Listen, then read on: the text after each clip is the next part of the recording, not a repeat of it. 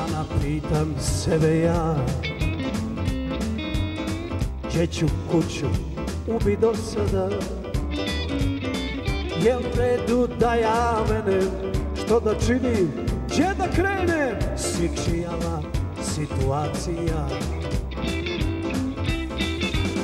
Znam da ima ovakvih kao ja. Ima ne. Cijela moja generacija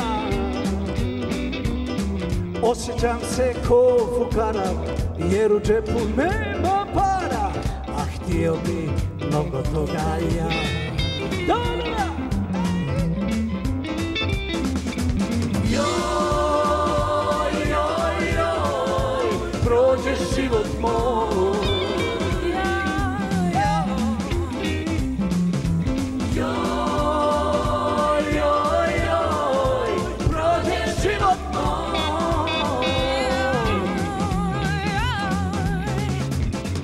Što se meni baš dogodi, da me ođe majka rodi. Mjesto tamo preko bare, pa da troši te dolare. Joj.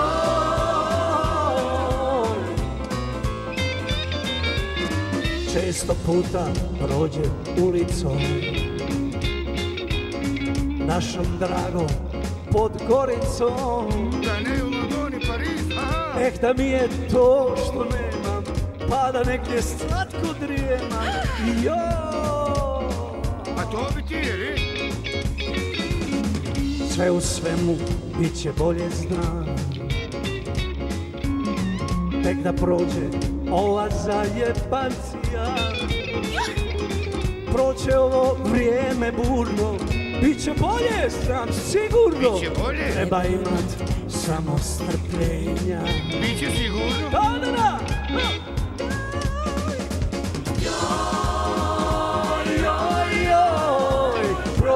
život moj.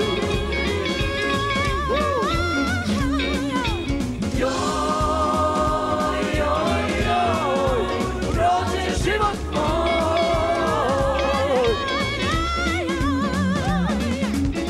Što se meni baš dogodi Da me ođe majka rodi?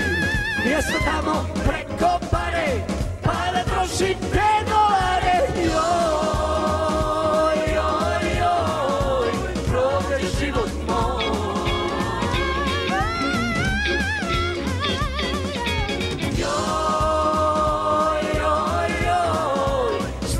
Joj, joj, joj Stoj živote, stoj